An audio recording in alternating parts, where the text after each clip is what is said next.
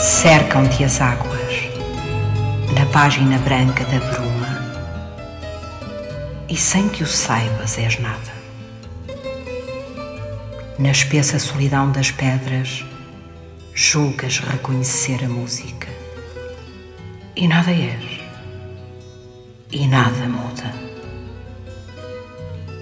Vem um guardião trajar-te de infinito, adornar-te com algumas pérolas para a grande cerimónia da voz. Não compreendes porque o faz e nasces a chorar. Tua mãe logo acende algumas horas no cadinho das formas, amamentando-te de luz, para que não venhas a cegar de escuro. Cantas as estrelas da noite no altar do coração do mundo e supões-te o mais livre dos seres.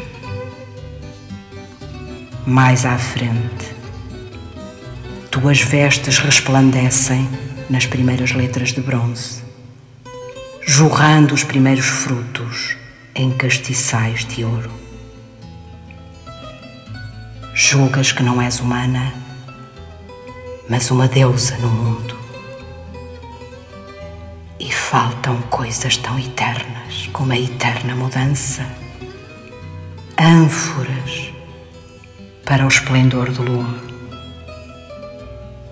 É então que estremeces, conheces a vastidão, porque foste queimada pelo fogo e trespassada pelas dúvidas e largada à dispersão e à loucura. Difícil é agora quando retornam aos dias os seus carvões escuros e ocupas o lugar dos muros ainda por arder. Até que saibas onde o poema habita, cercam-te as palavras. A vida inteira é tua.